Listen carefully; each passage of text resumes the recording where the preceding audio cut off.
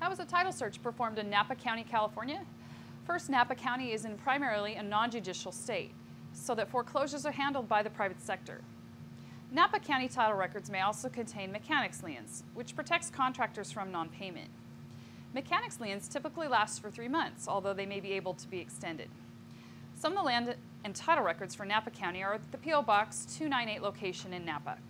While these documents might have most of the information, it's important to remember that civil court records, probate documents, assessor's records, and other information outside of the lands records can affect a title search. For more information about title search or land search in Napa, you can contact us at our website, titlesearch.com, or call 877 848 5337.